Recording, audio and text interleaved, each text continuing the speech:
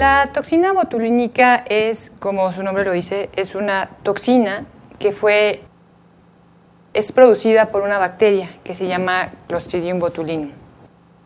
Eh, más aproximadamente en 1925 fue cuando ya se logró detectar claramente cómo era la toxina, se aisló y se empezaron a investigar sus usos.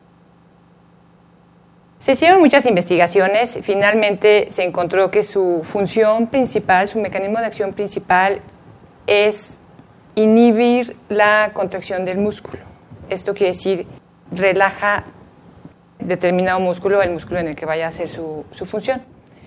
A partir de ahí se empezaron a hacer muchos estudios en la investigación, intentando ya utilizarla como una herramienta más en medicina. Basándonos en que inhibe la contracción muscular, se empezó a utilizar sobre todo en oftalmología, que fueron los primeros que empezaron a utilizarla.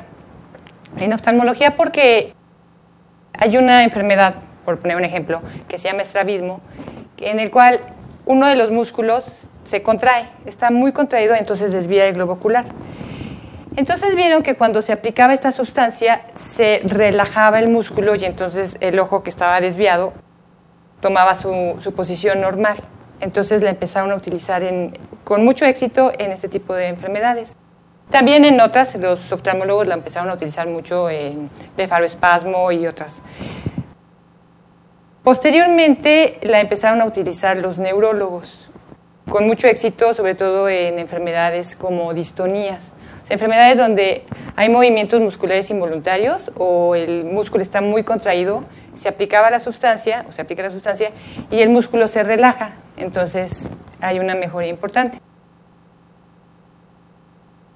Mucho tiempo después, una pareja de médicos en Estados Unidos que son oftalmólogos, un oftalmólogo y un dermatólogo, empezaron a utilizar, se dieron cuenta de que el medicamento, cuando era aplicado cerca de algunas eh, zonas, disminuía las arrugas.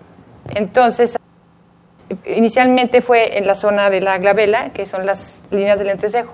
Cuando se aplica en esa zona, el músculo ya no se puede contraer, entonces se quita esa expresión como de enojo, el músculo se relaja y ahí fue donde se inicia el uso cosmético de la, de la toxina botulínica.